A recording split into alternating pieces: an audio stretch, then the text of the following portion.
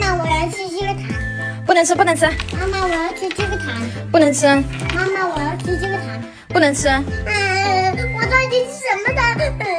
宝贝宝贝，你别哭了，你看一下妈妈给你买的啥？妈妈给你买的仁和家的蓝莓叶黄素及果汁软糖哦。叶黄素呢是我们视网膜合成感光物质的一个重要元素，身体是无法自动合成的，所以呢我们吃这个就很合适呢。就哎对，就像我们平常啊，大人小孩离不开电子产品，是不是用眼过度了？我们就需要来补充叶黄素哦。